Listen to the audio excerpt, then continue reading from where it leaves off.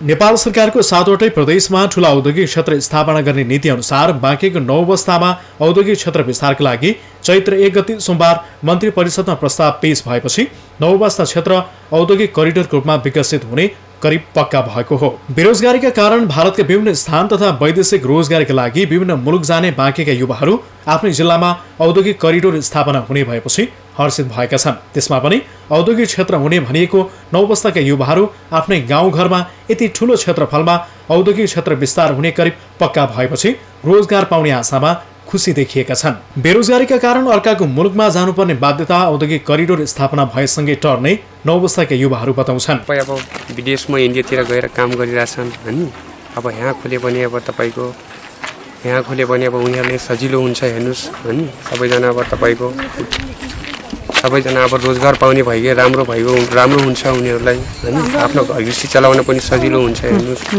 यहाँको सरकारले यस्तो औद्योगिक क्षेत्रहरू खोल्दाखेरि होइन हामीलाई सुविधा हुने कुरा हो। हामी यत्रो अब युवाहरू छौँ जो विदेशमा ठगिने लुटिने त्यस्तो भइरहेको छैन त्योभन्दा हाम्रो सरकारले अब यहीँ यस्तो व्यवस्थाहरू यस्तो औद्योगिक क्षेत्रहरू खोलिदिएपछि हामीलाई धेरै राम्रो हुन्छ सजिलो हुन्छ र हामी पनि धेरै सुविधा पाउँछौँ हामी रोजगारी पनि पाउँछौँ। उद्योगमा यहाँको महिला यहाँको महिला दिदीबहिनीहरू धेरै विदेश हिँड्नुभएको छ। अब यही ठाउँमा उद्योग हुन- रहे पितमारी नवस्था दुई पितमारीमा उद्योग खोल्ने रहेछ।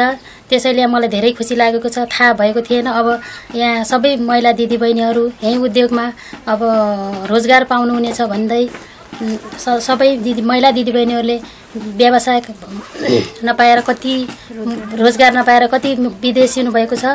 उहाँहरूले यहीँ रोजगार पाउनुहुनेछ भनेर धेरै खुसी लागेको छ।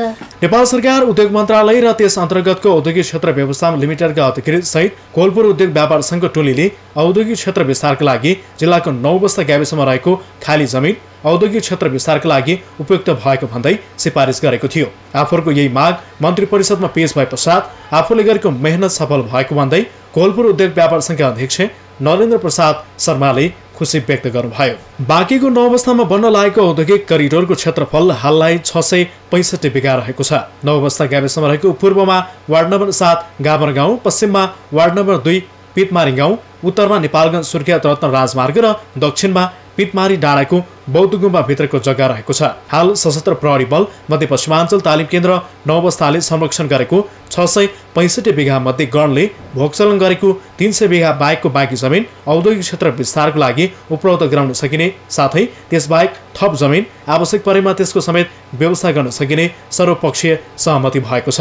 मानव बस्ती नभएको बुट्यान क्षेत्रको उक्त स्थानलाई औद्योगिक क्षेत्र बनाउनका लागि आफूले पहल थालेको बाँकी जिल्ला क्षेत्र नम्बर चारका सांसद दलबहादुर सुनार सुनाउनुहुन्छ। सरकारले प्रदेश नम्बर एकमा झापाको दमक प्रदेश नम्बर दुईमा सर्लाही प्रदेश नम्बर तिनमा हेटौडाको मयूरधाप प्रदेश नम्बर चारमा कास्कीको लेखनाथ स्थित पटनारी प्रदेश नम्बर पाँचमा बुटोलको मोतीपुर र बाँकीको नौ अवस्था प्रदेश नम्बर छमा सुर्खेत र जुम्ला तथा प्रदेश नम्बर सातमा कञ्चनपुरको दैजीमा ठुलो औद्योगिक क्षेत्र स्थापनाका लागि मन्त्री परिषदमा प्रस्ताव पेश गरिएको छ।